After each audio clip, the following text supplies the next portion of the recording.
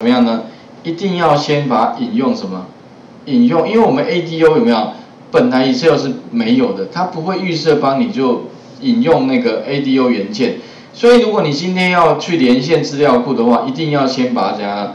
把这个里面有一个预设是没有，那你要找到那个哪一个呢？Microsoft，然后呢 ActiveX，然后呢 Data Object 有没有？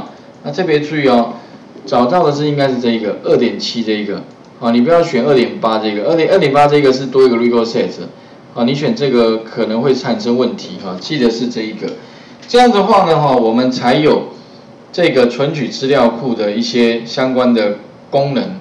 因为它是一个什么 library，它是一个函式库，这个函式库呢才可以达到我们去存取资料库的目的。按确定，第一步就完成了。那第二步的话呢，哈，请各位就是说哈，这地方啊，再参考那个云端上面这一串，其实就可以怎么样呢？把它复制起来。好，Ctrl C 这一段复制之后的话呢，再把它怎么样贴到这个这个地方来。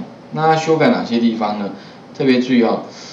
呃，基本上我第一个新增啊，等下取消一下，我先我把它贴到下面，好，贴成一个新的方法好了，因为它本身就是一个 sub，所以贴上去的话呢，就是会有一个 end sub，那将来我们用呼叫的方式，用 call 的方式去呼叫它就好了，哦，然后呢，再来就是说呢，要改哪些部分呢？